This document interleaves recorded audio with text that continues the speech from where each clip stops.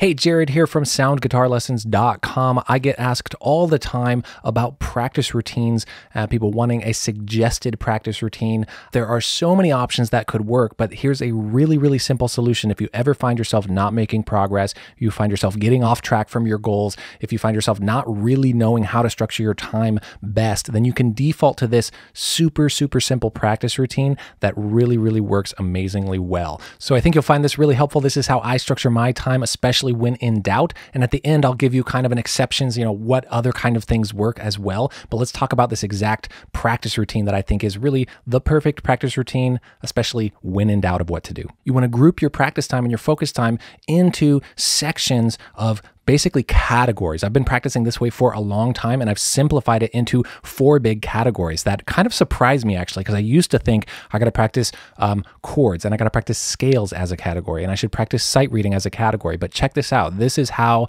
I find that I make the most progress, especially when in doubt.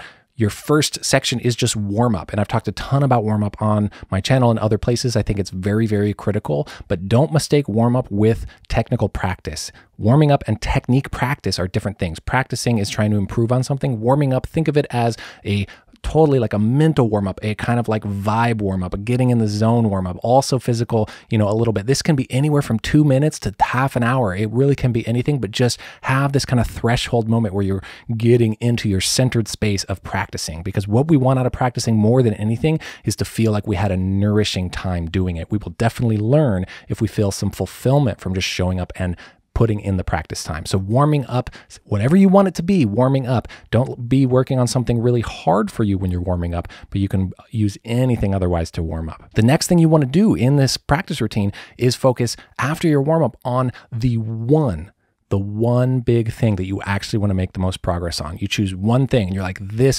just find it in your heart and say, like, this is the thing that I care about getting better at. Like, oh my gosh, if I could get better at this, and this can change day to day. So, in a practice session, choose one thing, one thing that you're like, I want to actually skyrocket my progress on this one thing. And you work on that in a very, very focused way. And you try to actually move the needle on it. You could do that for several days in a row on the same thing, or you can actually change it day by day, but you're actually trying to move the needle on one thing. That is your second section of your practice. That's the main dish. That's the meat protein of your practice routine. You're actually trying to get better at something. Section number three this is the brilliant part about this practice routine because our downfall usually is that we're trying to focus on too many things at once. We get worried that we, we're wor- working on something and we're letting everything else go. So we try to practice everything. We don't make progress on anything. Does this sound familiar? So Section number three of your practice routine is the back burner items. This is anything and everything that you wish and hope to make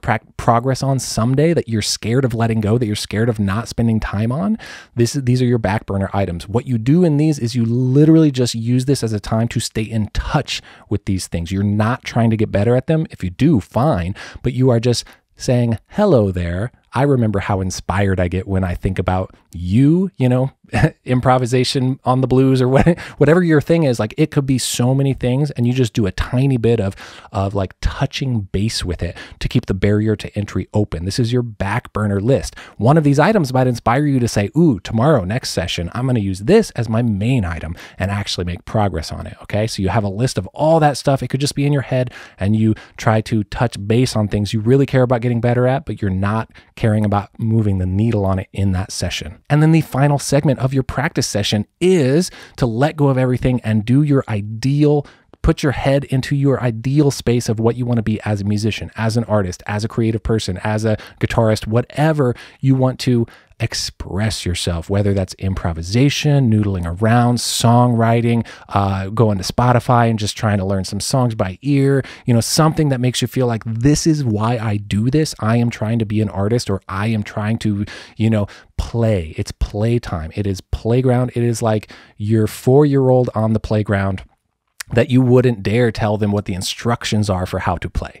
You just want them to play, and that is a beautiful way to learn. So you want to play. And this is such a critical thing. We often do it, but we're doing it within the structure of having learned something intentional, touch base on back burner, warmed up. Now your playtime should feel very fruitful and it should also trigger for you what you care about. What are your red flags that show you, oh crap, I got to get better at that because that really didn't sound good. Maybe that'll be something I make sure is in my back burner list. Maybe I'll focus on it next time. But you play, play, play, and it shows you this guides us over long periods of time. This actually steers us towards what our North Star is because that's right that's an individual thing and it's not there's no one right thing that we're supposed to sound like or be like or know even. There's really not such a thing as like someone's a better guitarist than someone else. Like everyone is just so different. So you have to play and find your inspiration in that fourth part of the practice routine.